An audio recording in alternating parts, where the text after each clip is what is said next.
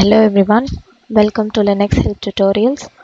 Today we are going to see how to install phpMyAdmin on CentOS. phpMyAdmin is basically an open source tool used for managing, updating the databases such as MariaDB or MySQL.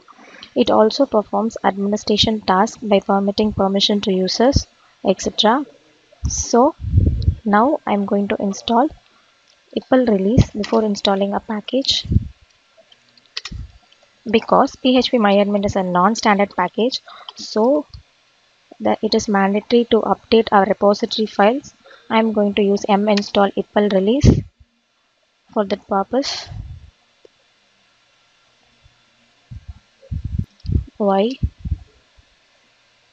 The process gets completed. Now i'm going to install my lamp package apache mysql and php so for apache httpd mysql server and php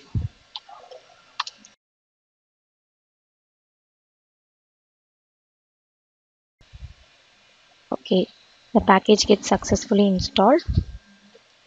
Next i'm going to check the service status of all the installed package it is stopped because we have freshly installed so i'm going to start the service.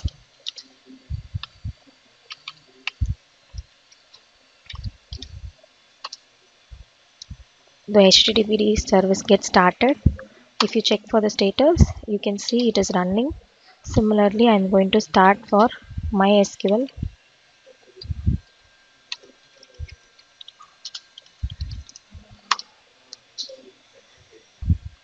now if i check the status of it.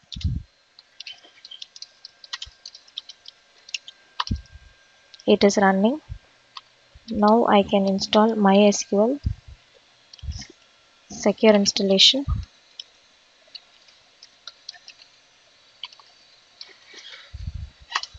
Just give enter followed by a password for your mysql and press enter continuously. Then your process gets completed. Now i'm going to install my phpMyAdmin package. Why? The package is getting installed. After gets completed switch over to your browser and provide the machine's ip address followed by phpMyAdmin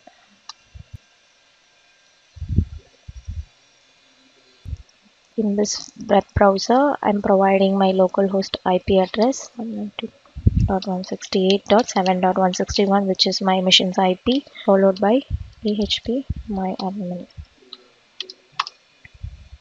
Uh, this is the default page. Uh, you can uh, log in using your root name and password. And this is the standard page. Thanks for watching this video Please subscribe to our channel Linux Help. For further tutorials, visit www.linuxhelp.com. Any queries, mail to support at linuxhelp.com.